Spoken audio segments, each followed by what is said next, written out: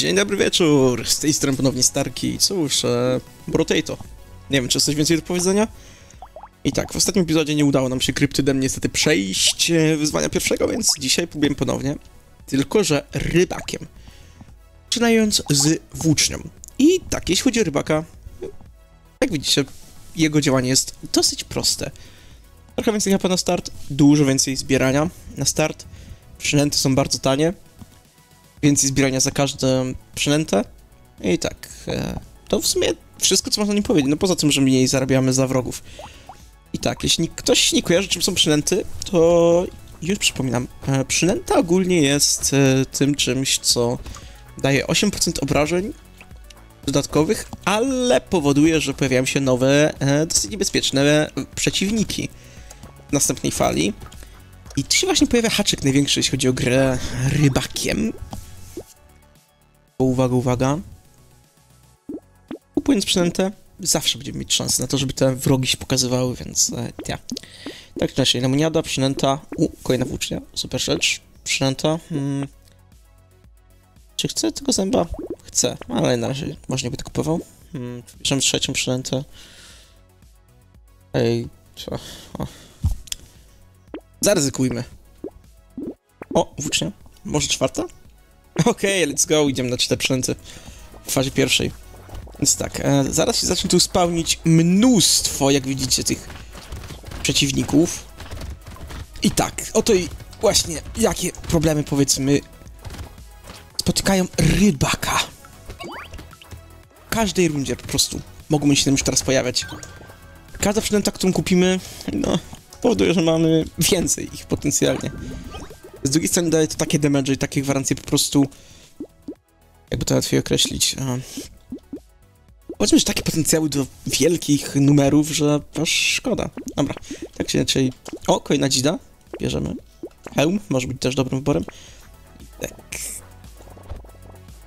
No, nie wiem, czy coś więcej trzeba naprawdę powiedzieć. Po prostu patrzcie na to, no, jakie piękne numery robimy tymi włóczniami. Podkreślam, nadal są na jedynce. A jednocześnie zobaczcie, jak pięknie prawie martwi jesteśmy. A, tak niestety wygląda gry rybakiem. I jeśli mam być totalnie, kompletnie, stuprocentowo szczery, jeśli mamy jako rybak wygrać, a tak jest jednak dzisiejszy cel, to trzeba będzie, i to nie ma chce, nie chce, podkreślam, trzeba będzie bardzo, ale to bardzo ostrożnie podchodzić do wszystkiego. Hmm. Bierzmy hełma, przynętę też. Głównie dlatego, że po prostu... No, prawda jest jedna, jedyna. Przynęty daje nam dużo, ale też utrudniają życie. Dlatego musimy iść po prostu w tak zwane, jak ja na to mówię, build opierający się na big PP numbers, ale jednocześnie też nie ignorować defensywy. Zarówno pancerz i uniki będą potrzebne.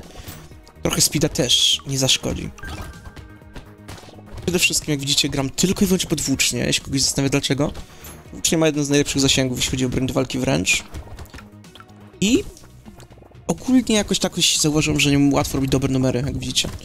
Inne broni też są ok, ale przez to, ile będziemy musieli uciekać przed tymi wrogami, wydaje mi się, że włócznia właśnie jest najlepszą bronią pod tym względem, że no, nawet jeśli jest ich dużo, jest szansa, że przebijemy bardzo wielu. No i teraz tak, weźmy takie rzeczy, robaka. Mimo tego, że zmniejsza zasięg, tak wezmę. Z tym może zaryzykuję. Jeszcze jedna przynęta. Oj, oj, oj. Ojej, oj. Będę naprawdę zdegorzową. Tak czy inaczej. No. 39 obrażeń na moich włóczniach.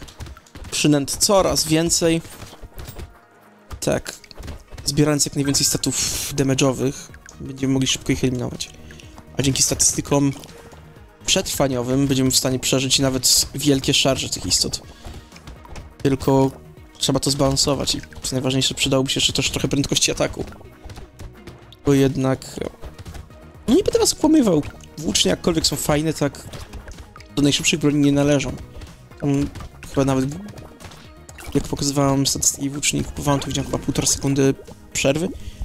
Ciężko mi to ocenić, ale no, zasięg co jak co, ale musimy też w zasięgu brać, bo... bo mimo tego, że zasięg teoretycznie spowalnia atakowanie, prawda jest taka, że bez zasięgu nie przeżyjemy tego. Dobra, przynęta. Dodatkowy hełm zawsze, przynęta jak najbardziej. Włócznia trójka. Włócznia trójka! Bierę, bierę, bierę. Bierę wszystko, co my tu mamy. I tak. Jak widzicie, niestety te, te dziady są w stanie przeżyć o, pojedyncze dźgnięcie, więc trzeba zdecydowanie podbić nasze damage, jeśli chcemy tutaj sobie radzić. A z drugiej strony nie mamy niczego, to podkreślam, totalnie niczego, co daje nam przeżywalność. Więc musimy szybko zdefiniować się w jedną ze stron jakby leczniczych. Albo wyssanie życia, albo regeneracja. Najlepiej byłoby mieć obie, ale chwilowo, jak widzieliście, tam tą roślinkę zablokowałem, bo regeneracja to zawsze cokolwiek co nas będzie ratować. Więc jest dobrze. No i tak. Przeżyliśmy jakimś cudem, a osobiście nawet sam trochę nie wiem jak.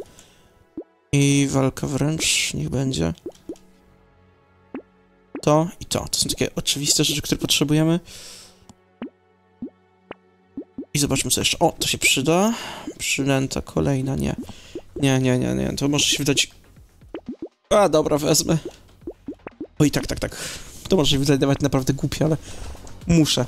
Muszę po prostu zbierać te przynęty, bo bez nich cały po prostu gimmick tej postaci polegałby na tym, że po prostu mamy mniej materiałów ze wrogów. Trochę więcej życia na starcie tego harvestingu, czyli zbieractwa. Ale jeśli to robimy, to jak widzicie jest ciekawy po prostu poziom wyzwania jednocześnie potęgi, gdzie tak naprawdę naszym największym problemem są ci specjalni wrogowie, których mamy tym więcej, im bardziej idziemy właśnie w nasze własne mm, umiejętności specjalne. Więc im spokojniej do tego podchodzę, tym mniej ich będzie. Ale z drugiej strony, im mniej ich będzie, tym będziemy słabsi. Więc te, definitywnie trzeba dużo nam regeneracji pancerzy i innych takich rzeczy. No i bardzo dużo przynęt. I wezmę to, mimo tego, że pancerz zabiera. Regeneracja oczywiście. Kupon. I teraz tak, e, hełm i kiełbasa ważniejsze. Przynęt niech będzie. Kolejna włócznia, co oznacza, że jedna z naszych już ewoluuje. O, jeszcze kolejna. I powiem szczerze, nie, nie, nie. 20 przynęt, to chyba dobrze. Na ten etap. Ale dobra, włócznia fioletowa, która nam się trafiła, to była, było niezwykłe błogosławieństwo, nas ratuje przed wieloma rzeczami. Teraz jeszcze to, że będziemy mieć zaraz dwie niebieskie. Oj. Oj, oj, po prostu. To będzie szansa na to, że może naprawdę przeżyjemy. I tak. Co my tu w sumie dalej możemy robić i mówić? Ten przebieg raczej to będzie jeden z tych takich naprawdę spokojnych prostolinijnych, gdzie teraz już naszym głównym celem będzie dosłownie tylko gromadzenie przeżywalności. I przynęt chyba. Oczywiście raz na jakiś czas jakieś tam prędkości ataku. Będą też mile widziane, czy no powiedzmy zasięgi. Ale głównie to chodzi już chyba tylko o to, że potrzebujemy przeżywalności w głównej mierze i przynęt. A reszta już sama sobie jakoś przyjdzie. Chociaż przydałoby się też trochę szybkości ruchu, bo nie ukrywam, dosyć powolny jest ten nasz ziemniak. I... A propos szybkości ruchu, wszystko super, ale no... Nie mogę odmówić po prostu czemuś takiemu, co się wprost nazywa... O, no, prędkość ataku. Jest to zbyt cenne dla nas wszystkich. Chciałem sobie dlatego ziemniaka dla postaci, dla większości rzeczy. Tak, no, 15%. Ktoś powie niewiele, ja powiem bardzo odczuwalne dla mnie. Ale ja ogólnie jestem taki dziwny, że, jak mówię, ja jestem w stanie czuć przez klawiaturę, że tak to dziwnie się wyraża. Po prostu jeśli postać chodzi bardzo szybko, aż tak za szybko, to poza tym, że czuć ten taki poślizg, czy coś, to czuję jakby przyciski w klawiaturze chodziły lżej niż kiedy postać jest za wolna na mój gust. I wtedy dosłownie czuję jakby te przyciski stawiały opór, kiedy je naciskam. Dziwne, ale no. Tak samo mam z prędkością ataku, że czuję te różnice i to mocno. Nawet jeśli to jest kilka procent, to jestem w stanie niewielką różnicę po prostu pod przyciskiem czuć. I tak, pewnie teraz macie mnie już za totalnego wariata, nienormalnego i tak dalej, ale no. Ja jestem po prostu szczery że tak to jest. Na padzie mniej tego mam i tak dalej, ale na klawiaturze hmm, bardzo. Z tym, z myszką w sumie też tak mam, jeśli chodzi o prędkość kursora i tym podobne. I dobra, w tych opcjach tutaj... Tutaj 8% obrażeń. Niby nie jest może najlepszy wybór, ale nadal. Bierzemy, bierzemy przynęta. Mniej zbierania kosztem tego, że będziemy mieć 1% na wyssanie życia. Oczywiście zbieranie nie jest aż takie cenne. Mniej szans na krytyka za bonus do wszystkiego, oczywiście, że tak. To zdecydowanie będzie też trzeba wziąć, tak. Małpy też. I jest dobrze. 52 zdrowia, 5 regeneracji, 1 wyssania. Obrażenia 236% więcej, 13 wręcz, prędkość tylko 35. Nie, pięknie to wygląda. Pięknie to wygląda i ja w tym naprawdę widzę i czuję potencjał do tego, że może, może naprawdę przeżyjemy falę 20 nawet. Gorzej tylko, że nasze predyspozycje defensywne nie wyglądają tak wspaniale, bo a nie zerknąłem. Zero na uniki, trzy pancerza. No kolorowo to to nie wygląda. Ale nie wiem, może trafić jakaś szansa na unik albo pancerz. Będzie opcja tego kupić. Opcja zawsze jest, tylko kwestia tego, czy ja zdecyduję się to zrobić, czy znowu będę po prostu przynęty jakieś damage. Tak, wiem, że damage. Czemu damage to nie jest prawidłowe określenie, ale ja mówię po swojemu. Musicie z tym niestety... No, możecie z tym albo handlować, albo z tym nie handlować. Szczerze, to bez różnicy i tak to nic nie zmieni, bo pewnie niejednokrotnie i tak tak będę sobie gadał, nawet nie pamiętając o tym, że ewentualnie ktoś mógł mnie prosić, żebym przestał tak po swojemu. Ale no jak mówię, to już jest taki mój po prostu... Aha, no. Powiedziałbym takie...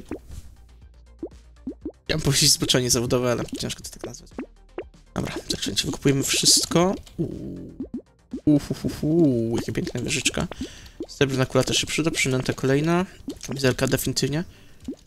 Paczka nie. Przynęta. Tutaj. A nie, nie ma niczego fajnego, ale jest przynęta.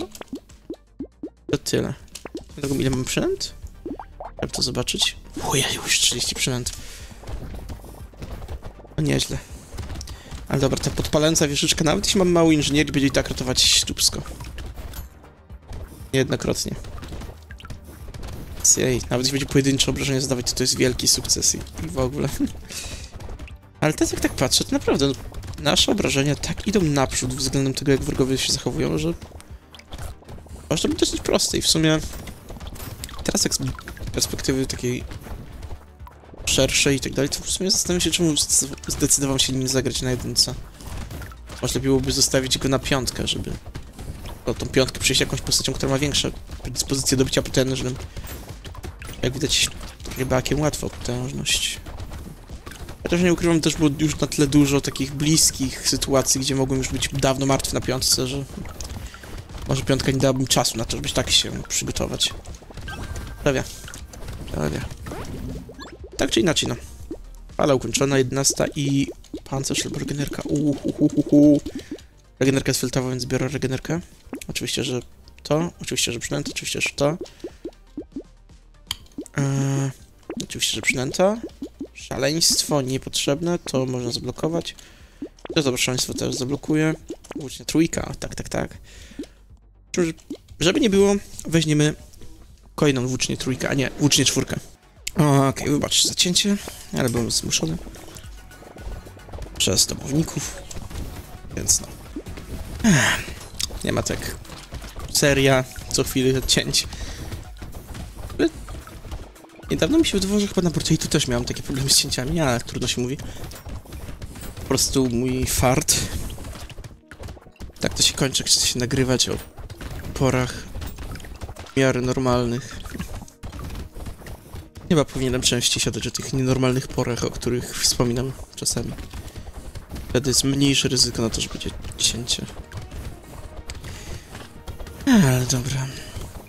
W sumie cięcia nadal będę robił, ale to wtedy będzie... Eee, z mojej... Czy z mojego powodu, jak ja coś muszę zrobić i... Eee, po prostu... No. Nie będzie to takie niespodziewane, nagłe, bo ktoś mnie woła, ktoś coś tam potrzebuje i tak dalej. I co tu mamy? 9 zdrowia, świetne, ale 3 wyssania życia, lepsze. I teraz tak, ostrożnie, łączymy GD1, bierzemy GD3 i mamy jeszcze tyle. Akurat wykupimy takie rzeczy i... A może się przydać, żeby było trochę mniej wrogów. Resztę rzeczy, w sensie to mogę. No i przynęta. Więc idziemy. Coraz ładniej to wygląda. Coraz ładniej, naprawdę. Naprawdę. Naprawdę, naprawdę, naprawdę. Nie na niby. Coraz naprawdę. I tak szczerze, naprawdę, naprawdę. Bez mało tego naprawdę powiedziałem. Tu potencjał i nadzieję na to, że nam się jakoś to uda. To byłoby dobrym znakiem, bo no... Nie ukrywam naprawdę... Znowu to powiedziałem. Masakra. Ale tak, e, po prostu... Chciałbym już... Te następne odcinki z Brutally to naprawdę... No nie, nie umiem inaczej. Co chwilę będę to powtarzał. Wiecie, coś ktoś chce, to niech e, nawet zrobi mi jakieś wycinki wszystkich momentów, kiedy mówię naprawdę w tym brotato. Ale tak, e, wracając, spróbuję bez powiedzenia naprawdę to wszystko powiedzieć. I tak, e, chciałbym, żeby kolejne odcinki z Bortato przedstawiały po prostu coraz więcej już e, zwycięstw. Głównie dlatego, że smutne to dla mnie jest i poniekąd można powiedzieć też kompromitujące. Co patrzycie na moje rozgrywki, to zawsze wychodzi, jakbym był największym jełopem. I żeby nie było ponownie to tak, ja mam z tym problem personalny, czy coś, czy się wstydzę i tak dalej. U. Cześć, wiem. Ale po prostu... Teraz znowu będę problem z po prostu, pewnie. No, e, kontynuując. No więc... Już na tyle pokazałem tego Brotato bez żadnych zmian, sukcesów, postępów, że no...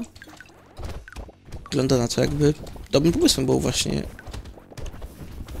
jakby to najłatwiej określić, no e, spiąć poś poślady i raz a porządnie właśnie to poprzechodzić, porobić, powygrywać wszystkimi postaciami.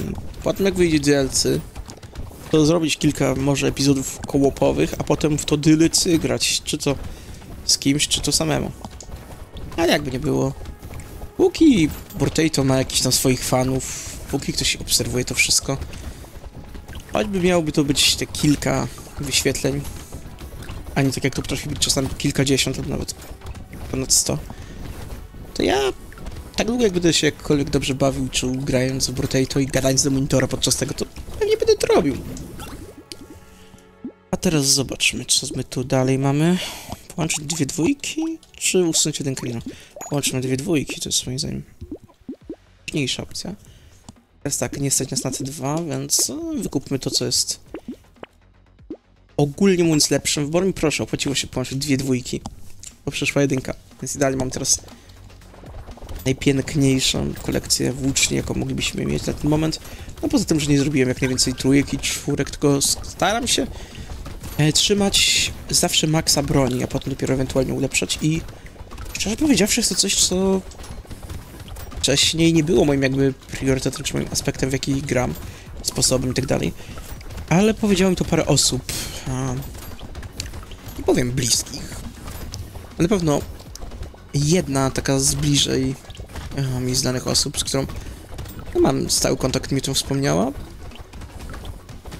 Jeśli się nie mylę, nawet mogę powiedzieć kto, bo jest to też, co ciekawe, jeden z moich e, oglądaczy. No, chodzi tutaj o wspaniałą osobę, jaką jest Jajek. Jakimś wielkim może guru Bortato nie jest. Chociaż tutaj nie powiem jest, nie jest, bo nie jestem pewien, ale tylko też stwierdziłem, że nie jest, przynajmniej na moją wiedzę.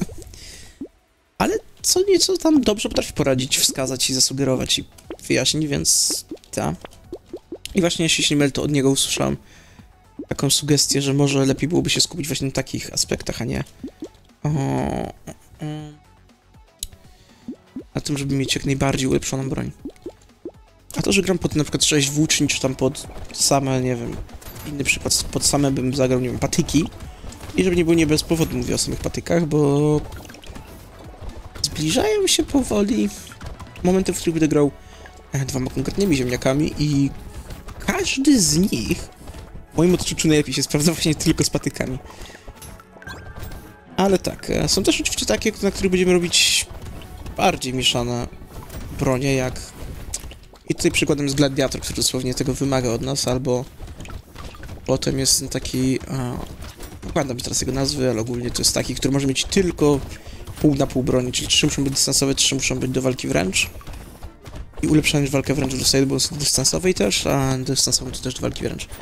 I pamiętam jego nazwy, czy on nie był... Czy on się nie nazywał Wszechstronny, czy coś, ogólnie to jest taki z jakby brudką fajną. No to u niego też będziemy musieli trochę grać pod kilka różnych, przynajmniej dwie różne. A może pod sześć różnych nawet. Ciężko mi stwierdzić.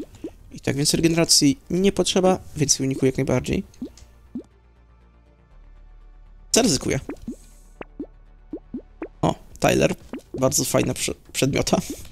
tak dziwnie to nazwę. I ciekawostka. Tyler też jest przedmiotem a, związanym z youtuberem, który trochę swego czasu no, chyba wniósł do Brotato. Um, konkretnie mówiąc, jeśli jeszcze nie wspominałem, że wspominałem, należy on jakby jako referencja do kanału znanego jako Olexa. To jest naprawdę świetny pod tym względem, podobnie jak Re Retromation. Obu polecam bardzo. Chociaż ostatnim, ostatnim czasem ich już nie oglądam ani nic. Bo no, trochę dużo mam na głowie, więc... Chociaż chciałbym usiąść i obserwować nowe ich podcinania, co no, nie, nie, nie za bardzo mam jak. No ale powiedzmy tak. O, a dlaczego nazywa się Tyler? Odpowiedź jest prosta, bo gościu się przyznał, że ma na imię Tyler i często mm, nie mówi do siebie, że per Alexa, jak coś tam do, jak się krytykuje, czy coś tak jak ja, no gwiazdo kluczu, jak tak mogłeś, czy coś. Nie, on dosłownie po prostu mówi, że no widać, że to, to było dosłownie kolejnym momentem Tyler nie umie czytać i tak dalej, więc no. Dlatego nazwali to Tyler, bo on się tak przedstawia zawsze kanału Alexa i tak dalej, no, no i tak. Dosłownie ten pajacyk z pudełka wygląda prawie jak... W sumie nie prawie jak, ale dosłownie jak jego awatar jako tako.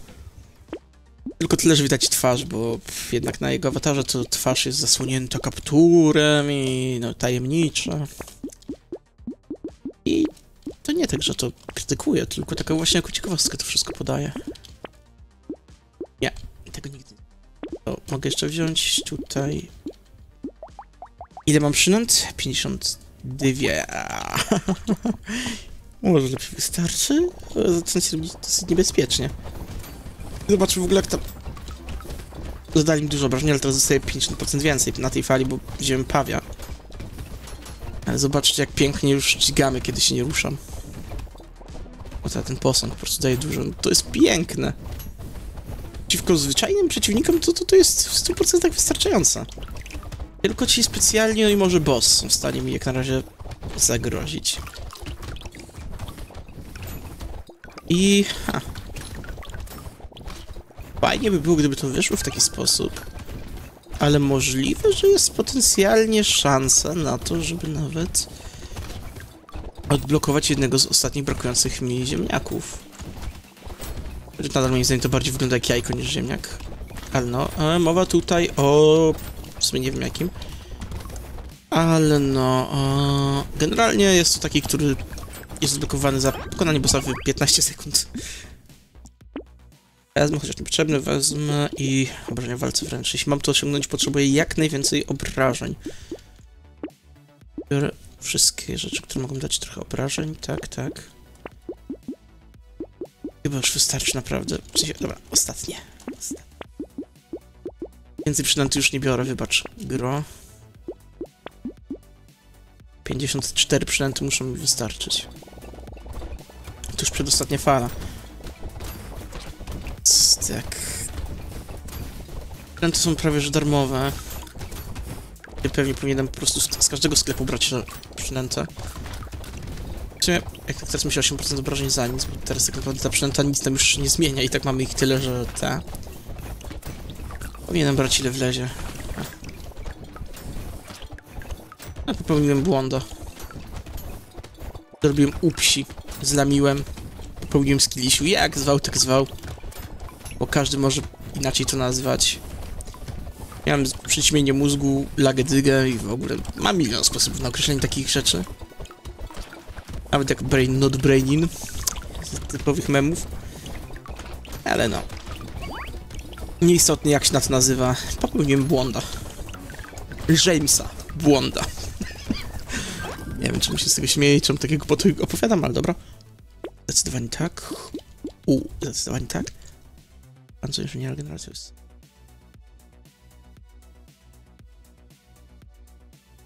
Kowna, ale biorę. Włócznie już nic nie zdziała. Albo i zdziała. Jedną fioletową dzięki temu.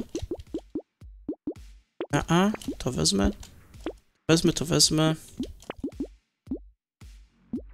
To bym wziął, gdybym było stać, ale nie stać, więc wezmę przynętę. Te rzeczy już nic nie dadzą. A i...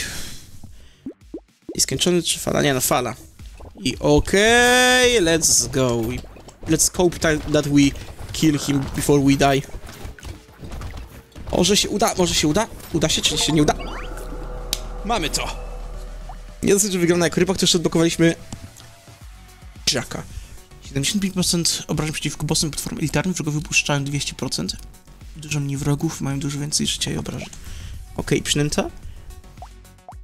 Eee, wait, wait, wait, wait, wait, wait, wait. Jak przynęta? Mamy już przynętę. To jest druga przynęta? Nie wiem. Regeneracja. Się dodatkowy obcy z łupami w liczbie 2.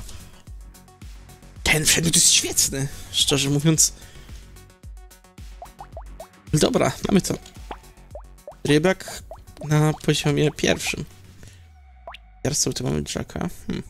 Wybór broni dość taki generalny, więc... Interesting. Naprawdę very interesting, bym powiedział. Ale tak czy inaczej, no, odnieśliśmy sukces. A zatem na tym kończymy epizoda. Wiem, że znowu krótki, ale może tak jest lepiej po prostu robić jedno podejście w Bortato i po prostu zostawić tylko takie materiały, które no, można łatwo obejrzeć, a nie takie znowu godzinne, jak niektóre moje. Więc tak. No to i macie. Sukcesa. Zwycięstwo. I tak. Wstępny poziom, czyli poziom drugi. Nie mam pojęcia, jakim będziemy grać. Więc y, jak zwykle przypomnę się tylko, jeśli macie jakieś sugestie, czy chcecie zobaczyć jakiegoś konkretnego jajkowego ziemniaka, bądź ziemniakczane jajko, dajcie mi znaka w komentarzu, a póki co to tyle i naprawdę dzięki wam wszystkim za uwagę. Mam nadzieję, że jesteście tak uradowani tym, że się udało jak ja i no trzymajcie się, hej hej!